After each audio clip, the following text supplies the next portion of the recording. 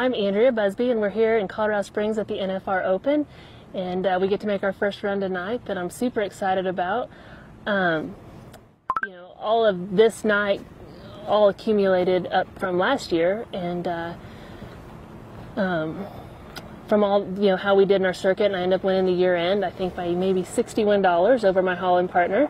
Um, so that came down to the wire, but last year was a great year um, on a little mare that my husband and I bred and raised, and um, her name's Blazing with my dude, and um, you know it was kind of a fairy book year for me as far as in my circuit for sure.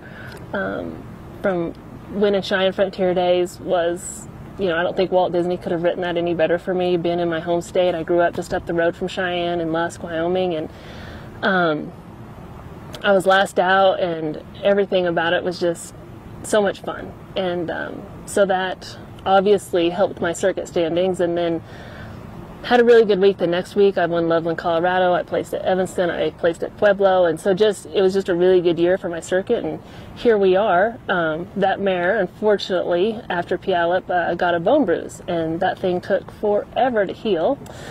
So, um, just got her back this summer. Well, the beginning of this summer in June, and made about four runs on her. And then her and I both took a pretty good spill at Woodward, Oklahoma this spring, and ended up in a life flight for me to Oklahoma City. But sports medicine team was outstanding. The trauma team was outstanding.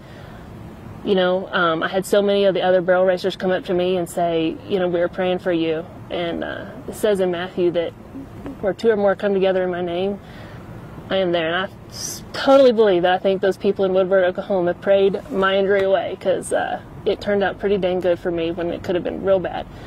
Um, and because of that, I am uh, not running her here tonight. I do get to get back on her this coming weekend and start legging her back up, so I'm pretty excited about that. But uh, in her place is the little horse I ran at Houston. We got her from Seth and Ashley Schaefer. Her name is Born on Derby Day. She's a little roan mare that's six years old and has just taken to the rodeo deal like a duck to water.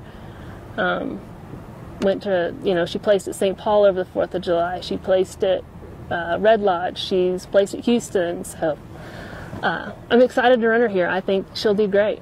And uh, it's been fun seasoning her, and she's a great little mare. So. That was